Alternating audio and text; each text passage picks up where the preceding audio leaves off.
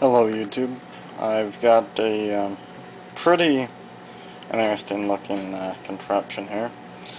Got an amplifier uh, with a bunch of connectors on it sticking out. Is my homemade amplifier I built. It outputs I think 5 watts or 2.5 or something like that.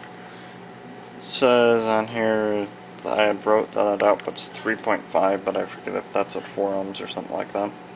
8 ohms or what. Uh, you've got your power terminals here. I've got uh, two of these banana to RCA connectors. Got the other one I'm using something else, a speaker. Then you've got the inputs. The inputs are parallel. You've got volume control, fan on and off. Just basically to turn off, you have to uh, unhook the power supply. Got a meter box, and the meter's sitting down. I have to glue it in. Um, and there's actually light bulbs in that too but uh, the power supply is not uh, connected to that. This right here is a mixer. It's passive. It's got a phono stage in it, everything. Some of the knobs are missing. Uh, I still have to connect those pots. I don't have uh, that many 10k resistors. I have enough for this whole channel, 5, and then those three right there. I still have to finish those too. So let's take a listen now hopefully this music uh, won't get my audio mute or anything. I just finally got video upload times of up uh, up to uh, I think they're up to 45 minutes or whatever. It's just basically past 15 minutes now.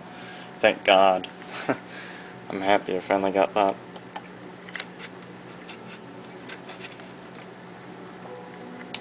Basically, you're going to be hearing CD player.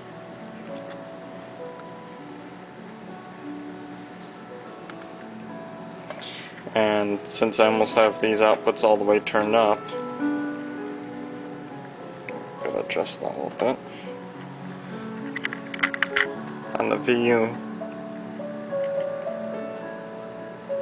there you go.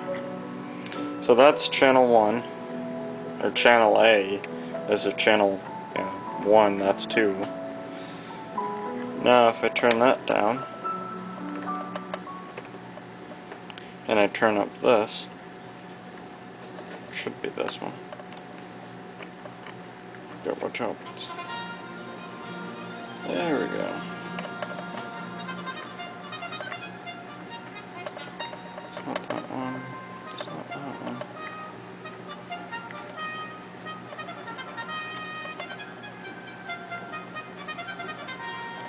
I still have to label things, connectors and such. Like quite sure what what is. That's only a left channel. Where's the right channel now?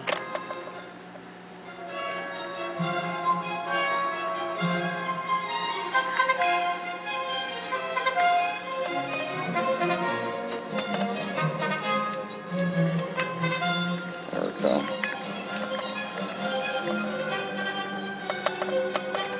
Sorry about that angle there. I'm trying to connect it to a different input.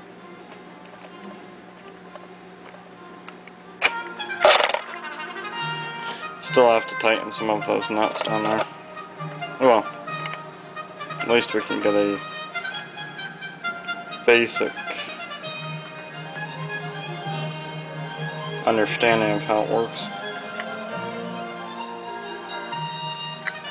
So we've got that now, we can turn up the CD player.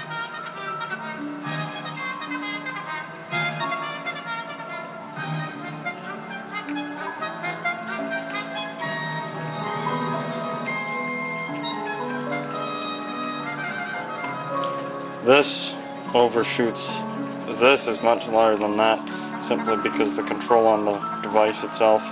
That's the thing to remember in passive mixers, when uh, devices have their own separate control.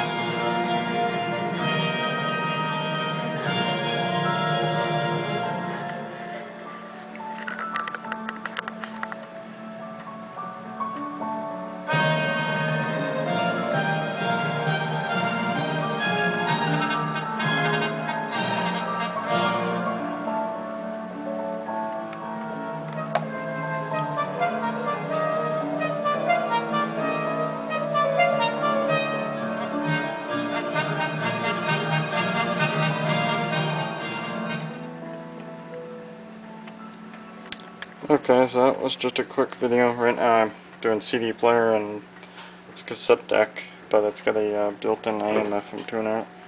So just a quick video here showing that off. Still quite a bit of uh, work to do on it.